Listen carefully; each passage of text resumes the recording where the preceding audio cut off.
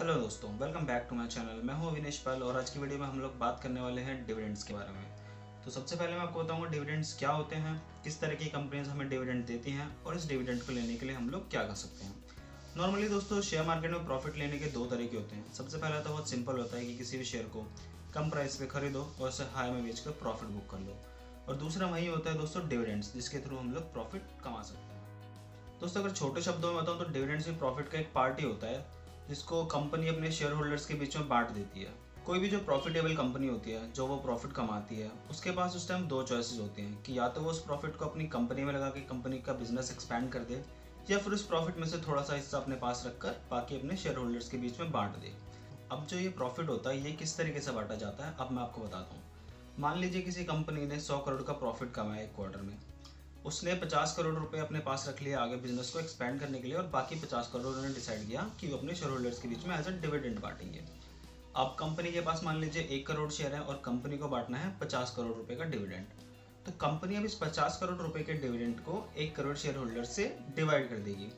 तो दोस्तों, जब आप उस पचास करोड़ के प्रॉफिट को एक करोड़ शेयर से डिवाइड करेंगे तो आपके पास पचास रुपए की वैल्यू निकल के आएगी। अब उस पचास रुपए की वैल्यू का ये मतलब होता है कि कंपनी हर शेयर होल्डर को एक शेयर पे पचास रुपए का डिविडेंड पे करेगी। अब मान लीजिए अगर आपके पास उस कंपनी के दस शेयर हैं तो आपको दस शेयर के हिसाब से कंपनी फाइव हंड्रेड रुपीज़ का डिविडेंड पे करेगी। मगर हाँ दोस्तों, एक बात हमेशा याद रखना, ज़्यादातर प्रॉफिटेबल एंड मेच्योर कंपनीज़ अपने शेयर होल्डर्स को डिविडेंड बांटती हैं। और ये हमेशा फिक्स नहीं होता कि कोई भी प्रॉफिटेबल कंपनी है तो वो हमेशा अपने शेयर होल्डर्स को डिविडेंड दे।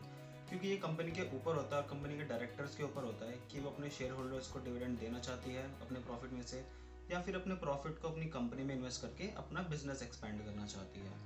अब मैं आपको बताऊँगा दोस्तों, आप किसी भी शेयर से आप इस डिविडेंड को कैसे ले सकते हैं? इसके लिए दोस्तों आपको थोड़ी सी रिसर्च करनी पड़ेगी, आपको पता लगाना पड़ेगा कि कौन कौन सी ऐसी प्रॉफिटेबल कंपनीज़ हैं। जो अपने शेयर होल्डर्स को एनुअली डिविडेंड पे करती हैं और आपको उन्हीं तरह की कंपनीज़ में अपना पैसा इन्वेस्ट करना पड़ेगा। इस तरीके की लिस्ट दोस्तों आपको इंटरनेट पर भी बहुत ईजिली मिल जाएगी और आप उसके थ्रू अपना पैसा इन्वेस्ट कर सकते हैं इन कंपनीज़ में।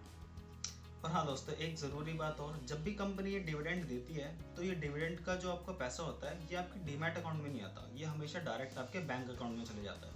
कभी कभी लोग कन्फ्यूज़ हो जाते हैं। उनको लगता है कंपनी ने डिविडेंड तो दिया है, पर उनके डीमैट में पैसा देख ही नहीं रहा। फिर बाद में उनको पता चलता है वो पैसा कंपनी ने डायरेक्ट उनके बैंक अकाउंट में ट्रांसफ़र कर दिया है।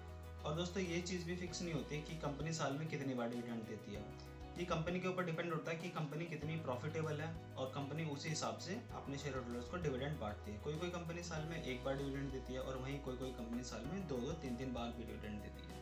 आशा करता हूँ दोस्तों, आपको समझ में आया होगा कि डिविडेंड का मतलब क्या होता है और किस तरीके से डिविडेंड काम करता है कंपनी पे करती है और आप इसको किस तरीके से ले सकते हैं। अगर वीडियो अच्छी लगी हो दोस्तों तो वीडियो को लाइक करें और अपने दोस्तों का शेयर ज़रूर करें। और कमेंट में करके ये बताएँ कि अगली बारी हम किस टॉपिक पर अपनी वीडियो बनाएँ।